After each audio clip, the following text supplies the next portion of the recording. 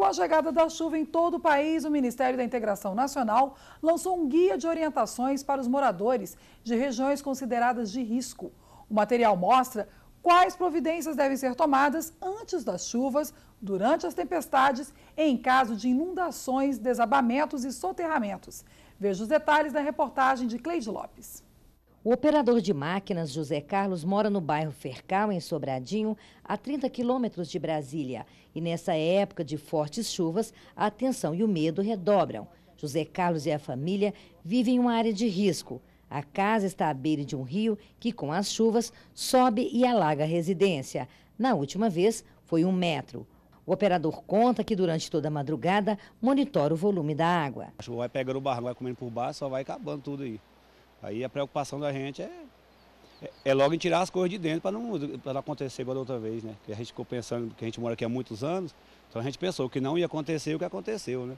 Aí foi um desespero grande para a gente aqui. Aí qualquer chuva que vem agora, a vontade da gente é de sair e carregar as coisas né, de dentro. O período de chuvas chegou em todo o país. Em algumas regiões, o volume de água já ultrapassou o esperado. E para evitar surpresas desagradáveis, a Defesa Civil preparou um alerta aos moradores de áreas de risco, morros e encostas.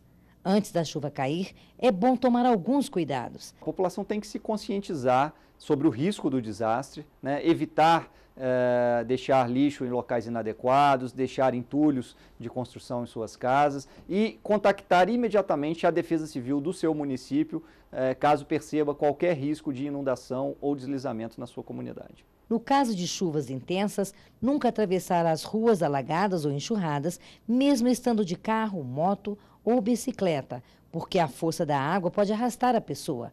Quem mora perto de córregos e rios deve acompanhar o nível de subida da água, mesmo à noite. Em caso de enchentes, evite contato com a água que pode estar contaminada pelos esgotos e transmitir doenças. Desligar aparelhos elétricos molhados ou úmidos que oferece perigo. É bom ficar atento à inclinação anormal de árvores e postes e ficar de olho em cachoeiras de lama descendo nas encostas. São sinais de que a qualquer momento poderá ocorrer deslizamentos de terra na encosta.